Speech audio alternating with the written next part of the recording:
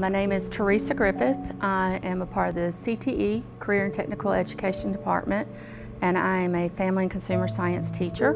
I teach Apparel 1 and 2, Principles of Family and Human Services, Parenting Child Development. I started seeing that a lot of my kids, when I would do the normal um, stand up in front of them and go over each PowerPoint, that I was having a problem with some students were writing faster, taking it in faster, some were slower. We were losing time in the classroom where the ones that were going slower felt pressure and I noticed that I was losing them in the classroom. So my process has been changing since I started with the self-paced. I've always given a rubric um, and that was basically to keep up with activities. However, I noticed that a lot of my students weren't testing well. So what I did is I incorporated the notes in there and that I can actually give them choices. So they get to choose what activities that they would like to work on. So um, they come in and they'll start with their notes and then if they want to do a few activities and they've gotten the notes for that activity, they can do that. So they have freedom in what they want to work on. So the very first thing that we do when we come into the classroom is we always do a warm-up. It's either introducing new material or we're reviewing material. And so that's a time when we do a class discussion. Then the exit ticket is based on notes um, that hopefully they have completed in class. Um, even though they're self-paced, um, it gives them kind of a place where, okay, maybe I ought to be here, but not necessarily because they can still access the notes on Google Classroom. What I did is stamp. So I will stamp it and then I'll stamp the work. So on each rubric, I have due dates. Um, we have to still, unfortunately, follow a guideline of um, getting all of our information in for the year so that I can prepare them for the final exam.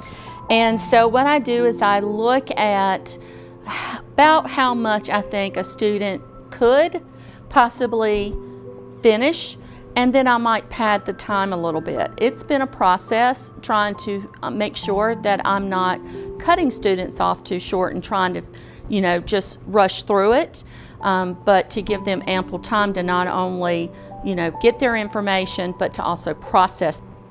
I do paper.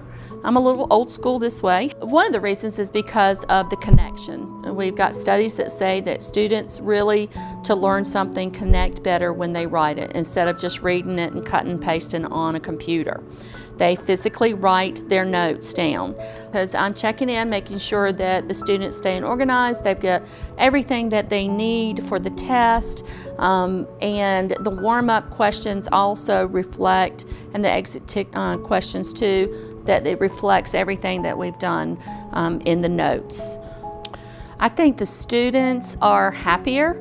I'm not losing them out in space when I'm talking all the time. They seem to be more geared to answering the questions. I get one-on-one -on -one time with my students um, because I have them to come and show me their work and we go over the work they tend to be more engaged. I'm finding that I'm getting work out of all my students instead of not everybody because I was losing other students. And then the other thing is, is that I'm going over the activities with them in the classroom and I'm checking to make sure that they understood the questions or the activity. They're able to earn all of their points and they don't lose anything. And so that makes them more successful. They're making most A's and B's in the classes versus seeing C's and D's. I'm Jalen Ellis in 10th grade. I'm Michelle Herrera in 10th grade. Uh, my name's Christian Diaz, I'm a sophomore. My name is Ashley McLean and I'm in 9th grade. I'm on the activities in 5.02 and 5.03. Right now I'm working on activities. I'm on the notes right now.